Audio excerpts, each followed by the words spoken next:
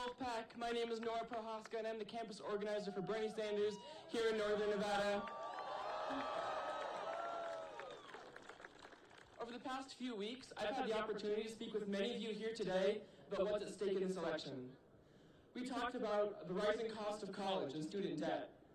We talked about the concentration camps at the border. And many of you talked about the growing threat of climate change.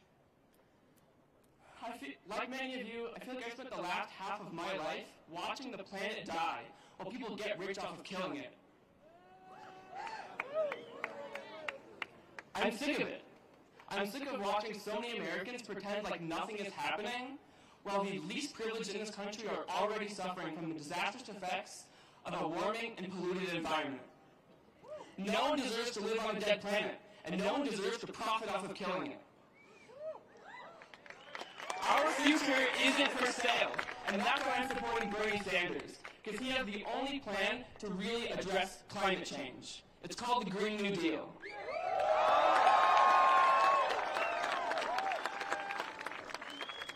The Green New Deal is the only plan that can get our um, transportation industry and energy grid off of fossil fuels in just 10 years and fully decarbonize our economy by 2050 at the latest. But Bernie Sanders isn't going to stop there.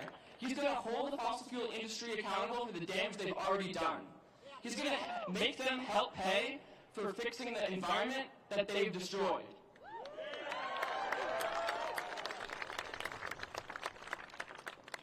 That's why we need Bernie Sanders as our president. Remember, this isn't just a political campaign. This is a political revolution.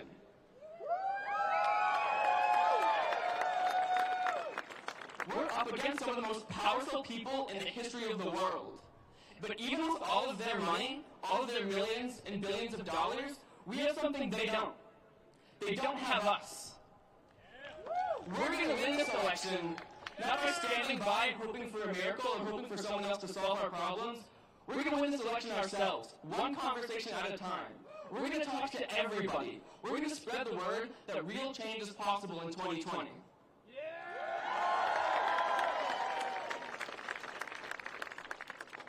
So if you're ready to take the next step in this revolution, our revolution, I want you to join me tomorrow at 1 p.m. at the Joe Crowley Student Union right behind you um, to learn more about what this campaign is going to look like here on the ground. Um, please uh, talk to my fellow organizers immediately after this rally. All around you are wearing the volunteer badges um, to find out how you can get involved in taking this country back from the millionaires and billionaires who think they have our democracy bought and paid for. We're going to prove them wrong. We're going to win this campaign, and we're going to save this planet. Thank you all so much for coming.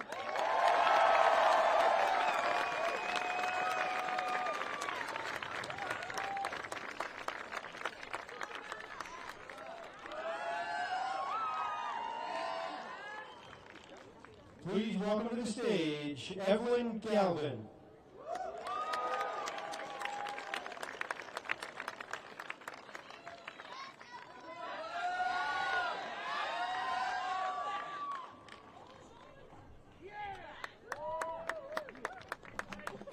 Thank you. Hello, I'm, I'm Evelyn Galvin, and I'm a fourth year student here at UNR. And I'm here to discuss my personal story and why I'm supporting Bernie Sanders for this upcoming election. Uh, I was a freshman here during the 2016 presidential um, election when Trump won, and uh, I was very terrified. I was scared because it showed that America cared about the voices of white supremacists and the far right more than it did about mine and many other people like me that people like me needed to hide and be afraid for our lives. I was afraid because I, I can't talk about my family um, and their status because of the fear that I'll never see them again. And that's why um, I, thank you. Sorry, I'm a little nervous. Um, and I was nervous and afraid, like right now, speaking in front of these people. But instead of, instead of letting that fear overcome me and let them win, I decided to turn that fear to much, something much more powerful, which was action. And, and I think that's what we need, all need to do is take the action and stand with a candidate that will support marginalized voices like myself and many others so that we don't have to be afraid anymore. Um, I choose Bernie because I believe in the right of a free education and free healthcare for everybody, regardless of. I choose Bernie because I don't want to be afraid walking with my family out of fear that one of them will be arrested and I'll never see them again in this country. And I, I choose Bernie because I want the end of white supremacy and racism and to have acceptance in this country for everybody.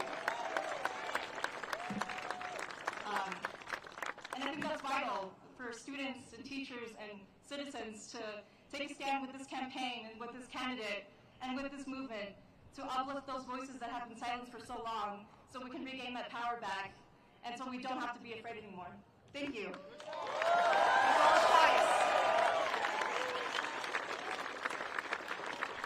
Please welcome to the stage Autumn Harry.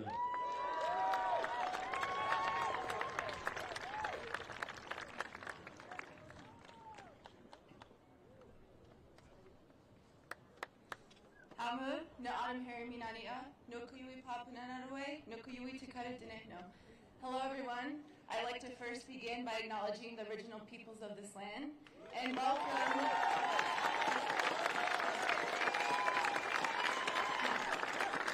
and welcome Senator Sanders to Numu and Washoe territory. My name is Autumn Harry. I'm a member of the Pyramid Lake Paiute tribe here in northern Nevada. I am both Paiute and Navajo, and this fall I began my second year of graduate school pursuing my master's degree in geography.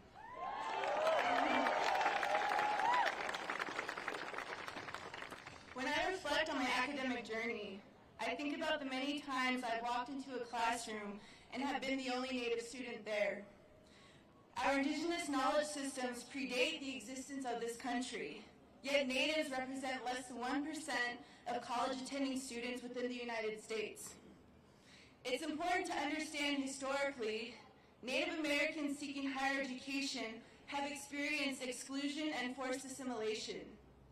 It has not been long since the boarding school era when the U.S. government forced tens of thousands of Native children to attend boarding schools where they were punished for speaking their languages and prohibited from practicing their traditional and cultural ways of life. Today, our people are still healing from that institutional trauma, and we continue to face barriers accessing higher education due to lack of funding resources, lack of Indigenous faculty, and lack of technology to rural reservation communities. And the list goes on. Despite these hardships, we are still here.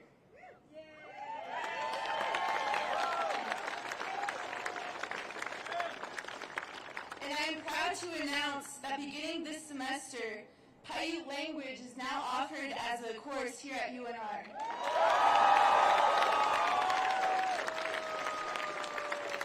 This is the first time our Numu language will be spoken on this campus since the university's establishment in 1874. So that language is returning, and we're the ones who are bringing it back. This is a monumental step in the right direction, and I am confident educational opportunities are only going to increase with Senator Sanders' plan to provide free tuition, making higher education accessible and affordable to all.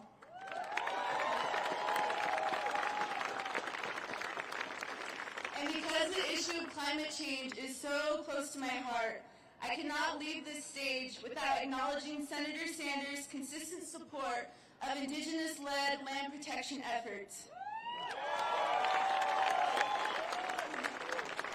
From supporting the Standing Sioux Tribe in their fight against the Dakota Access Pipeline, to publicly opposing the storage of nuclear waste here in Nevada, in Yucca Mountain, Senator Sanders continues to listen to our voices and refine his understanding of Indigenous issues, especially as we demand corporations be held accountable for the destruction and desecration of sacred lands. And as a young person, I am extremely grateful. And I look forward to the day when we finally elect a president who values people over profit.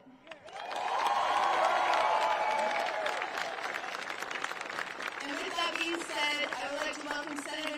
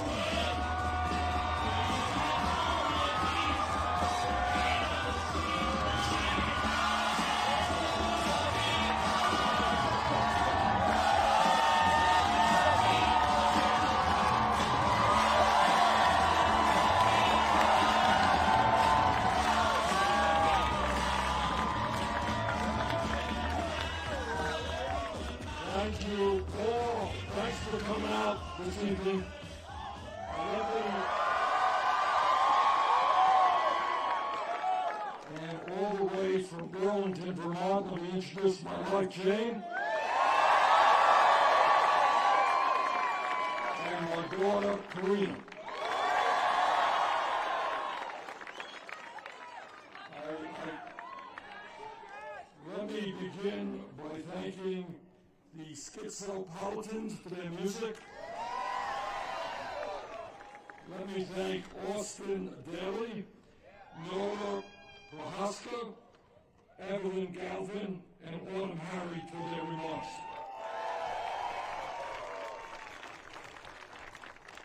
And let me apologize, I kind of lost my voice last week in Colorado. Can you all hear me back there?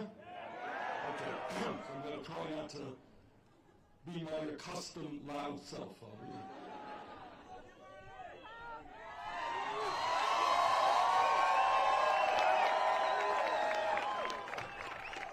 At this, at this unprecedented moment in American history, where we have a president who is a pathological liar, a president who is moving our country into an authoritarian society, a president who is a racist, a sexist, a homophobe, a religious bigot, and a xenophobe. If there has ever been a time in American history when we have got to stand up, come together, and get involved in the political process, this is that moment.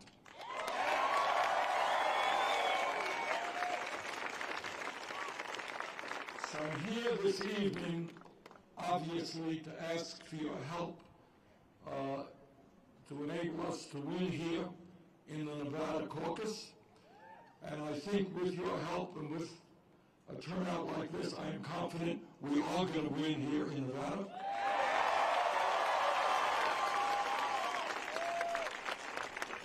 I am asking your help to win the Democratic nomination.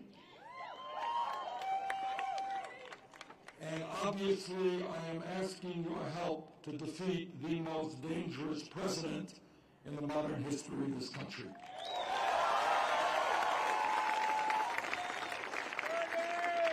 But I'm here tonight to ask even more of you. And that is the message of our campaign, as some of you know, is us, not me. And what that means is two basic points. Number one, our view of human life is very different than that of Donald Trump and his friends. They believe that the function of life is to lie, cheat, steal, step on anybody you can along the way in order to make as much money as you possibly can. Our vision is a very different vision. Our vision is one that understands that our humanity is based on our love and concern for our fellow human beings. And, and that we are more human when we reach out with compassion and love for those around us. That's good for us and it is good for the society. And that society of compassion, love, and concern, a society based on justice, is the society we hope to create.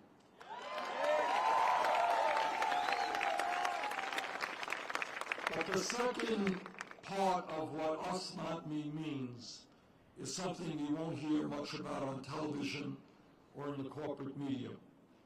And what that means is that no president, not Bernie Sanders or anybody else, can do it alone. Because the people who control to a significant degree the economic life and the political life of this country, the corrupt corporate elite, have enormous wealth and enormous power.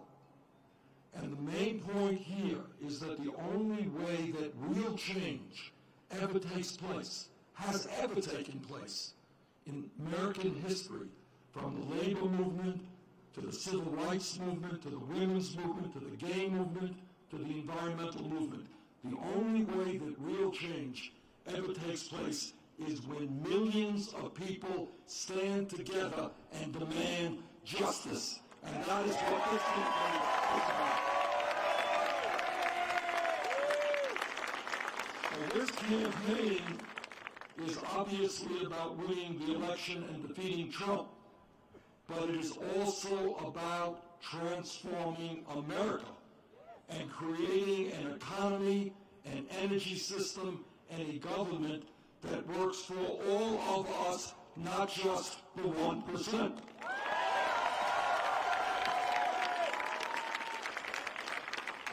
Nelson Mandela, one of the great leaders of recent times, said something, and I'm paraphrasing a little bit.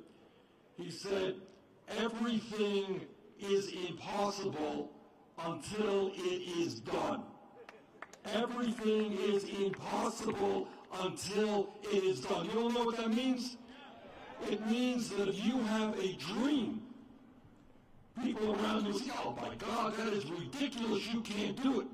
And after you accomplish it, people say, hey, that's obvious, of course. We all know that that was what should have been done.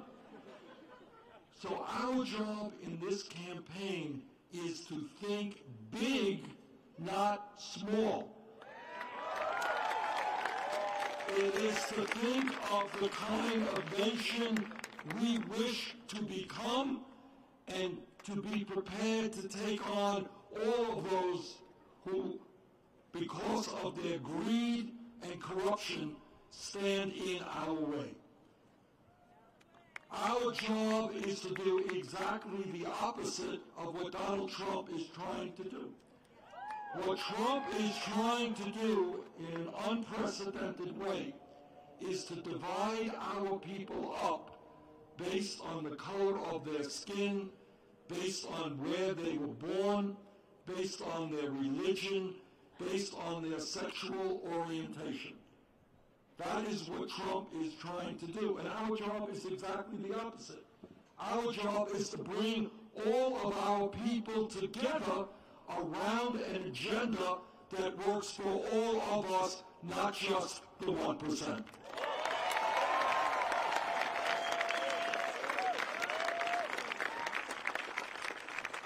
Let me say a few words about what that agenda means.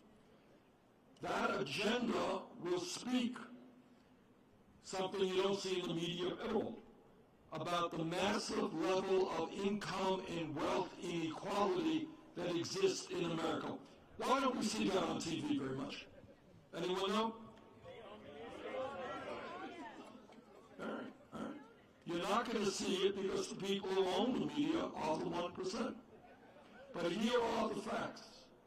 And I want you all to listen carefully. Today in our great country, our democracy, three people own more wealth than the bottom half of American society. The top 1% owns more wealth than the bottom 92%. And here, here in Nevada or in Vermont, Many other states in the country, you got people working two or three jobs to put food on the table, and yet 49% of all new income goes to the top 1%. So what we have got to say as loudly and clearly as we can to the 1%, to Wall Street, to the pharmaceutical industry, to the insurance companies, to the fossil fuel industry. Sorry guys, you will no longer have it all. We're going to create an economy that works for everybody, not just the people on top.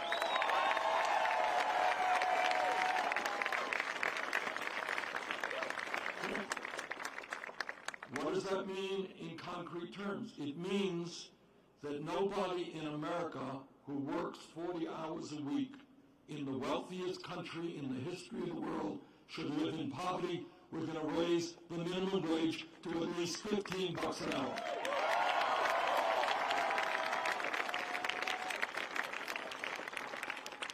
Our vision of America is equal pay for equal work. Women will not continue to make 80 cents on the dollar. Our vision for America is that we understand when we grow the trade union movement, we grow the middle class, we're going to make it easier for workers to join unions.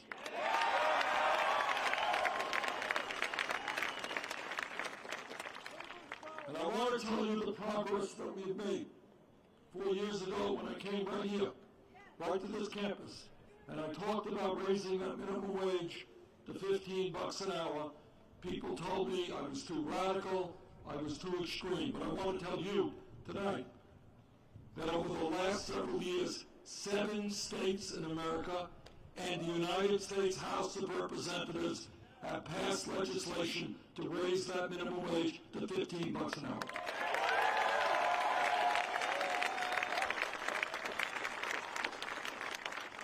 So an idea that seemed radical four years ago, not so radical today. And I'll give you another example of how we make change. Four years ago, came right here to this campus, and I said that in this particular moment in American history, when we have exploding technology, when we are living in a competitive global economy, we have to rethink free public education.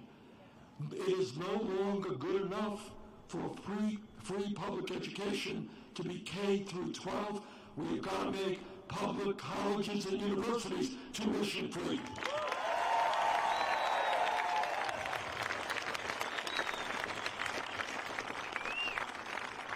Four years ago, that was a radical idea.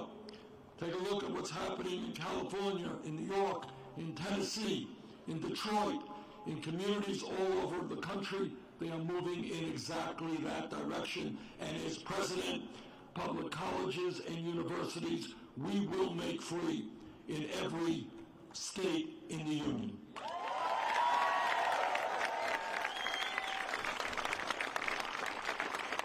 And here's another issue that we raised and is gaining steam all across America.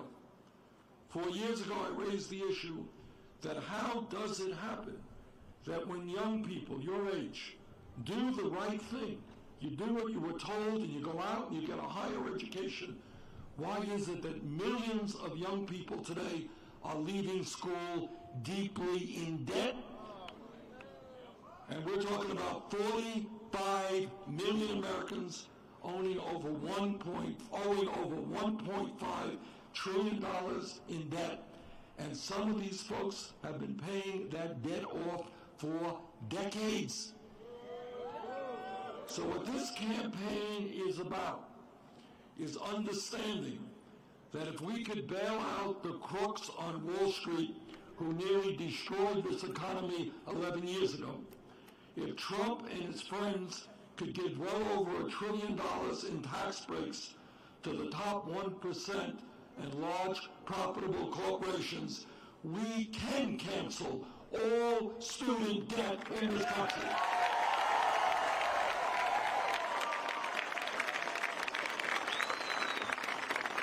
And we do that by imposing a modest tax on Wall Street speculation. So our vision, you know, which today some will consider radical and crazy, in 10 years they'll say, well, of course, that's the right thing. Our vision for education is that every person in this country who has the ability and the desire to get a higher education, and that may mean college, it may be a trade school, but every person in this country who wants a higher education should be able to do so regardless of the income of their family.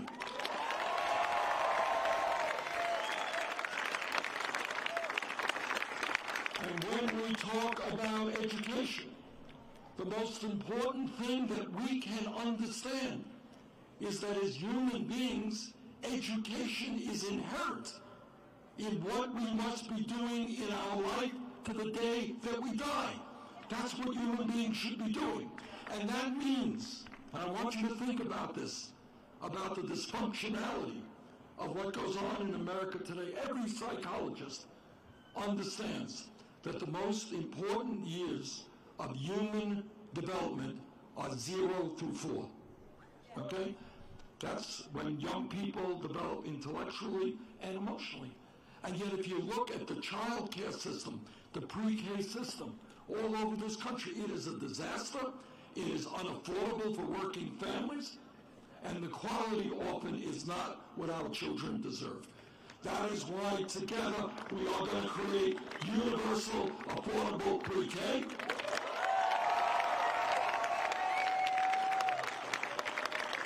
why we are going to respect. Our educators, put substantial sums of money into public education, make sure that no teacher in America earns less than $60,000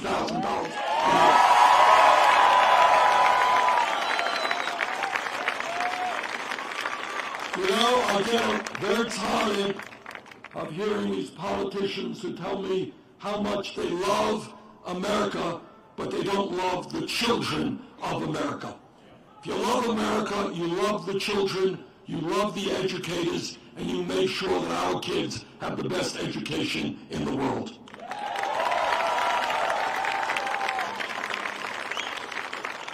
And when we talk about a progressive agenda, we must do what every other major country on earth does, and that is guarantee health care to all people as a human right.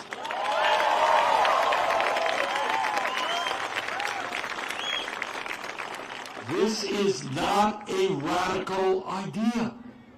This exists all over the industrialized world. I live in Burlington, Vermont. 50 miles north of me is a country called Canada. When you have major surgery in Canada and you spend a month in the hospital, do you know what the bill is when you come out? Zero. Zero. And that is what a humane democratic society is about. Health care is a right, not a privilege.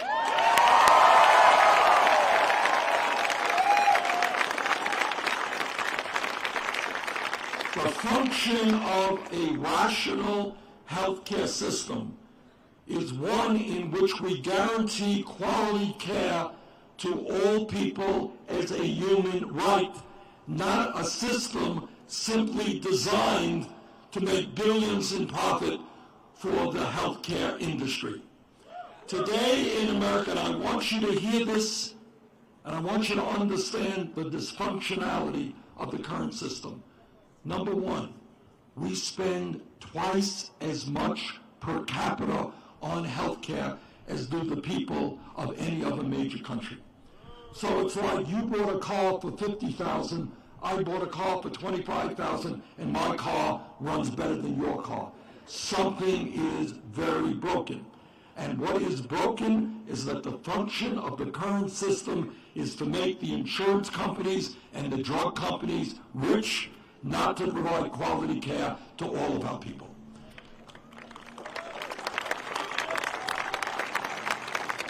Every poll that I have seen in recent months tells me that the American people now support a Medicare for all single-payer program.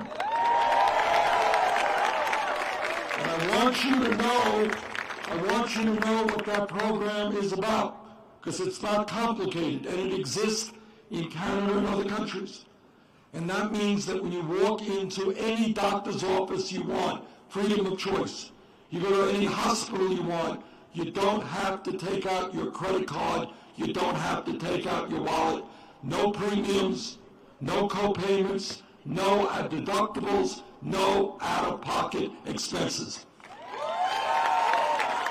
Healthcare will be paid, healthcare will be paid out of the general tax base in a progressive way, which means that if you're not paying premiums, deductibles, and out-of-pocket expenses, you will be paying less for health care than you are today with a much better comprehensive program that exists now.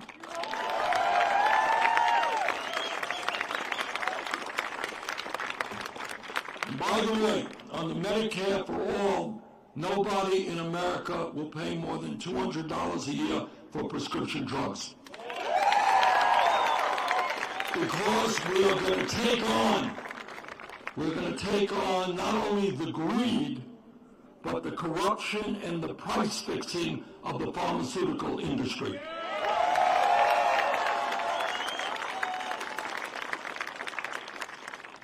Let me touch on another issue that obviously impacts Nevada, impacts America. And Nevada can and must play a major role in this process. Right now, we have a president of the United States who believes that climate change is a hoax. I believe that Donald Trump is a hoax.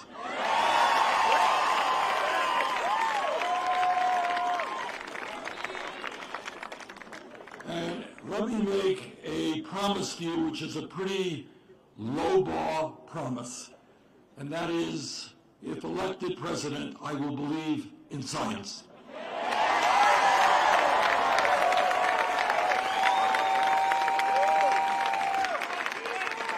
But I want to say this. What the scientists are telling us, and all of you know this, is that not only is climate change real, climate change is already doing devastating harm to our country and countries all over the world. I think all of you have seen the incredible damage done in the Bahamas. You remember what happened in Puerto Rico uh, just a couple of years ago, devastated that island. You are familiar with what happened a number of years ago in New Orleans with regard to Katrina, what happened in New Jersey and New York with Hurricane Sandy. Uh, and this is just in our part of the world. They got heat waves in Europe, in Australia, drought, terrible drought in the United States and Latin America. People are no longer able to grow the crops they need to feed their families, to find the drinking water that they need to stay alive.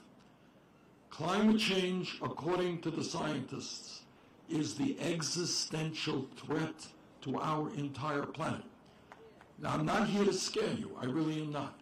But what the scientists are telling us is that we do not get our act together, and very, very shortly, there will be irreparable damage done to this planet within the next 11 years, and it only gets worse after that. And what we have got to say, think about is 20, 30, 40 years ago when you were looking your kids in the eye and your grandchildren in the eyes.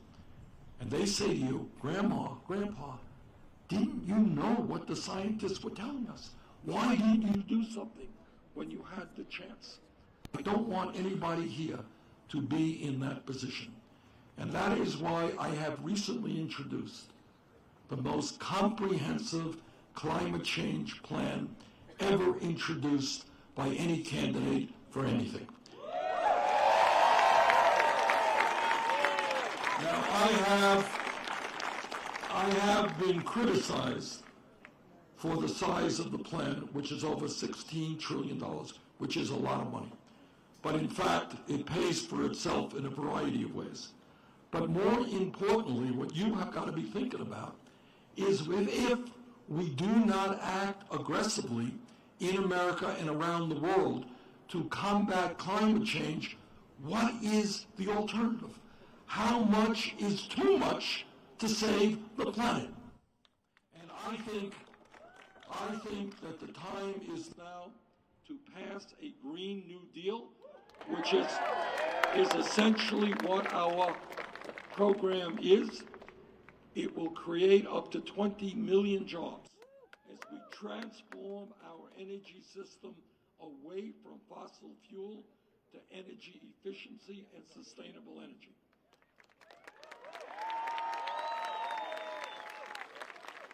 In a state like Nevada, where you are blessed, sometimes overly blessed, with sunshine. I was here a few weeks ago, 113 degrees. You get enough sun. Here in Nevada, you should be using that sun. And we look forward to Nevada. We look forward to Florida. We look forward to those states blessed with sunshine to help lead our country in transforming our energy system away from fossil fuel to sustainable energies like solar and wind.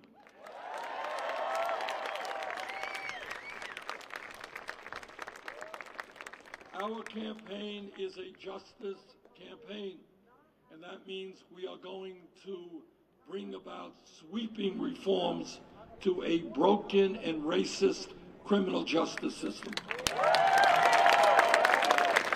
A criminal justice system which imprisons more people in America than any other country on earth, disproportionately African American, Latino, and Native American.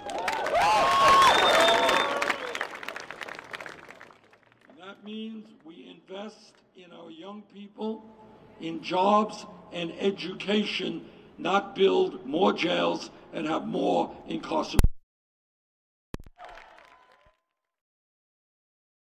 That we end the so-called war on drugs.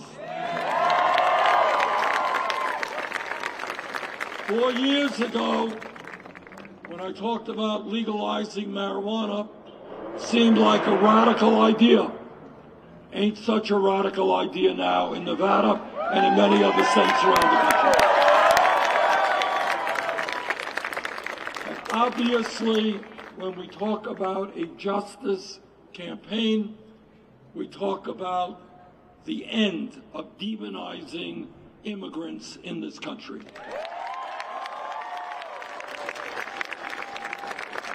Am sick and tired of Trump's racist attacks on immigrants in America, and on day one, we end that racism.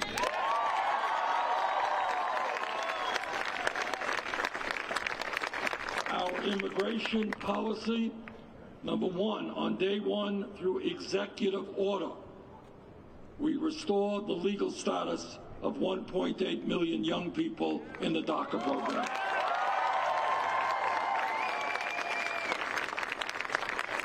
As soon as we can, and we will work aggressively on this, we will introduce comprehensive immigration reform and a path toward citizenship for the 11 million undocumented in this country. And number three, we will establish a humane border policy which does not rip babies from the arms of their mothers and put children in cages. That's not what we do.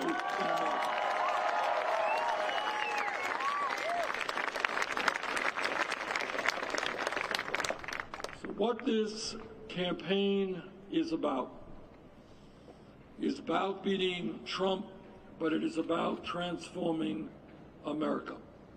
It is taking on the corruption and greed of Wall Street, the corruption and greed of the drug companies, of the insurance companies, of the fossil fuel industry, of the prison industrial complex, because we're going to end private prisons and detention centers. and the military industrial complex.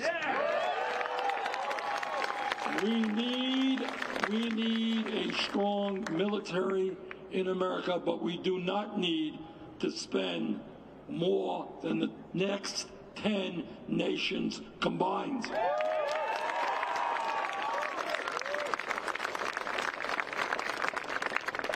Brothers and sisters, there is a lot of work in front of us, and I know that many of your friends have kind of given up on the political process. And when you tell them you're here to a Bernie Sanders rally, they're going to say, why would you waste your time doing that? But I want you to respond to them and tell them that you are sick and tired of hearing them moaning and groaning about college debt, about health care, about the $10 an hour they're making on their jobs, that they can't afford housing, or whatever their problem may be. Tell them instead of complaining, they've got to get involved in the political process and transform our economy and our government.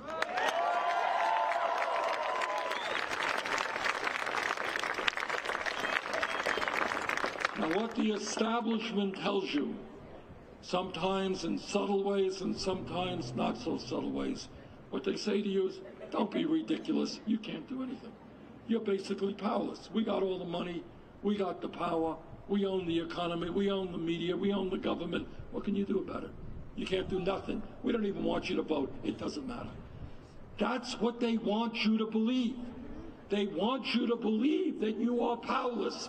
And if you believe you are powerless, you are power, powerless.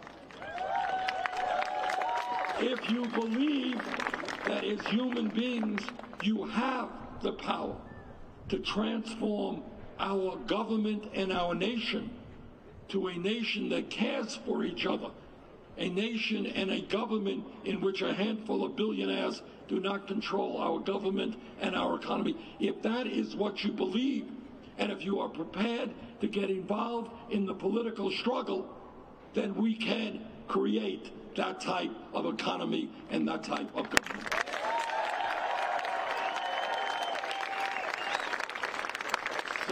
Let me end by just saying this. Do not allow anybody to tell you that you cannot bring about the kinds of changes that this country desperately needs. Do not believe them for a moment. That's what they want you to believe. Believe in your heart that when millions of people stand up and are prepared to take on the greed and corruption of corporate America and what goes on in Washington, D.C., when we are prepared to stand up against racism and sexism and homophobia and xenophobia and religious bigotry, when we are prepared to stand and go forward as one people and one nation, brothers and sisters, there is nothing that we cannot accomplish. Thank you all very much.